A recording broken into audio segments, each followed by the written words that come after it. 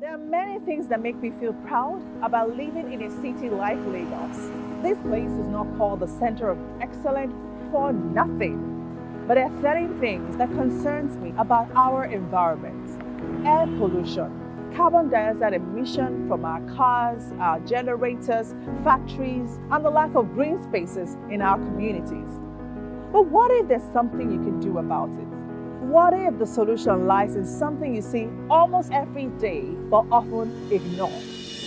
Yes, trees. Trees provide enormous benefit for our planet. They help clean the air we breathe and they filter the water we drink.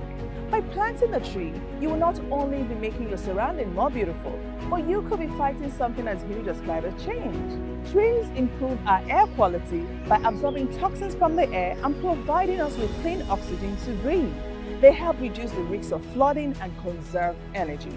And at a time such as this, there is need for us to address certain factors that contribute to poor air quality in our communities.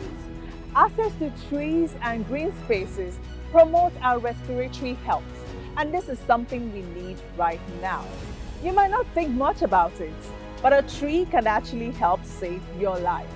So next time you see one, don't just think about it as a shade or a source of food, but as a friend that could save your life. So why don't you plant one today?